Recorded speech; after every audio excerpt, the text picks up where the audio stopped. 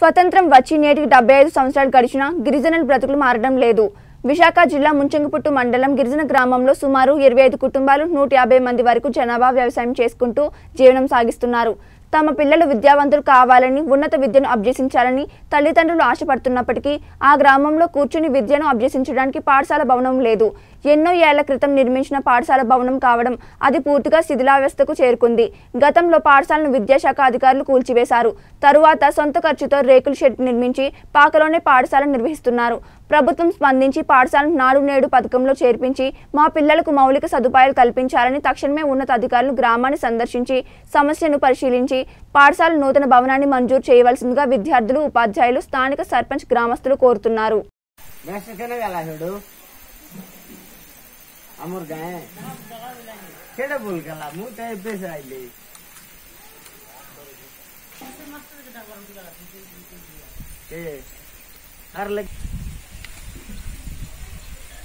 मोरा ब्लॉक के मांडी के आधार कार्ड बनाने से एडमिशन करवाटा एडमिशन फॉर्म लेको कोई टाकली तेसे गेल।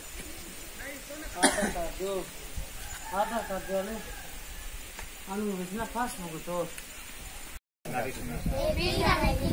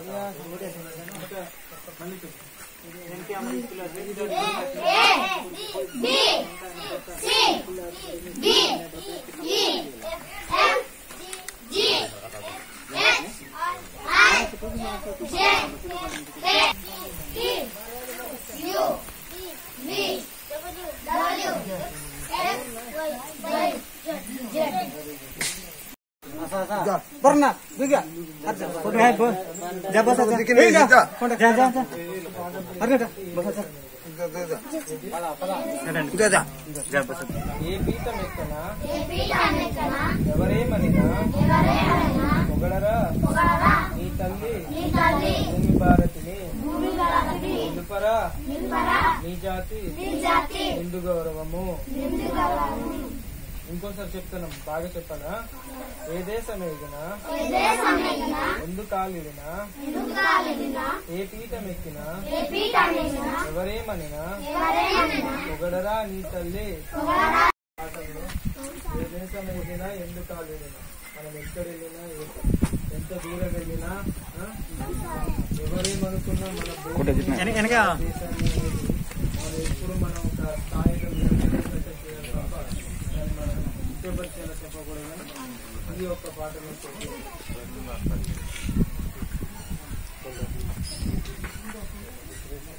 చదివించనా పిల్లలు చేత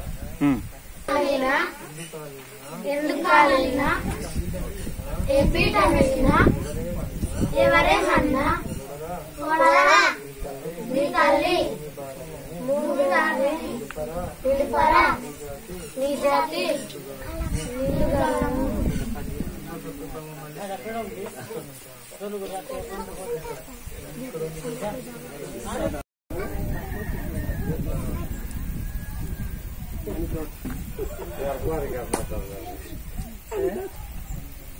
তার নাম মেইন নাম খাইলাম শুনলু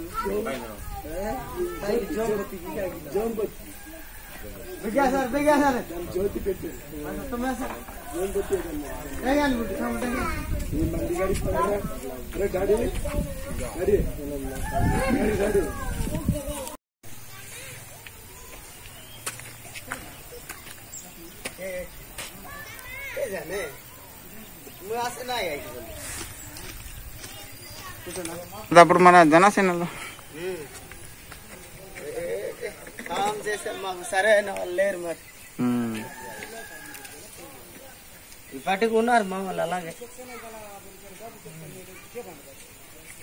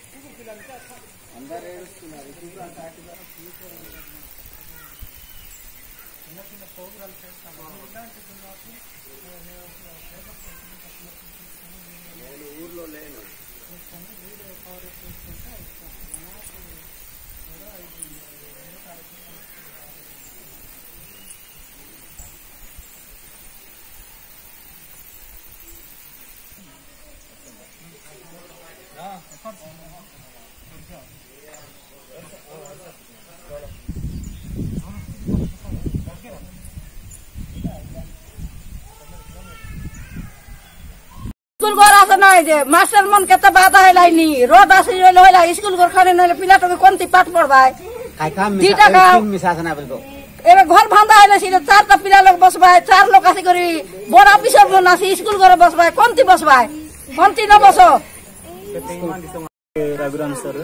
అయితే మాకరం పంచాయతీ సత్యజల నుంచి లబ్డపుట్టు కుతుడ ముఖపుట్టు మూడు విలేజ్కి వాలంటీర్ గ్రామ వాలంటీర్ అండి. అయితే లబ్డపుట్టు సమయంగా స్కూల్ లేదు సార్. మరి ఇక్కడ రేక్ షెడ్యూల్ ఉన్నాయి సార్. చాలా ప్రోగ్రామ్ అండి. ఇక్కడ చూస్తే చాలా విచిత్రంగా ఉంది సార్. తర్వాత మొక్కపుట్టు నుంచి వస్తే మరి రోడ్ కూడా లేవు సార్ ప్రోగులం సార్ అక్కడ నుంచి. పాములు గట్ట కానీ తర్వాత ఈ చెట్లు కూడా పెద్ద సార్. పడిపోతే చాలా ప్రోగులం ఉంది అదేవిధంగా మాకు స్కూల్ వెంటనే మనకు మంజూరు చేస్తారనేసి మనం కూడా మీడియాలో తెలియజేస్తున్నాం సార్. పంచాయతీ. నూతనంగా ఎన్నికైన నేను మాకవరం సర్పంచ్గా మా పంచాయతీ పరిధిలో లబడపుట్టు పాఠశాలల్లో గత ముప్పై సంవత్సరం నుంచి నిర్మించిన పాత భవనం కూలిపోవడం వలన అక్కడ పాఠ పాఠశాల లేకుండా అయింది. కాబట్టి ఈ దృష్టి మీద పై అధికారి అధికారుల మీద నేను వెళ్ళవెళ్ళగా వాళ్ళకి కంప్లైంట్ ఇవ్వడం జరుగు- జరుగుతుంది. అలాగే ఆ పాఠశాలని ఈనాడు నేడు మీద మంజూరు చే చేయడానికి కూడా నేను ఉపయోగ దృష్టి కూడా ఆ సమస్యలను తీసుకెళ్ళడం జరుగుతుంది.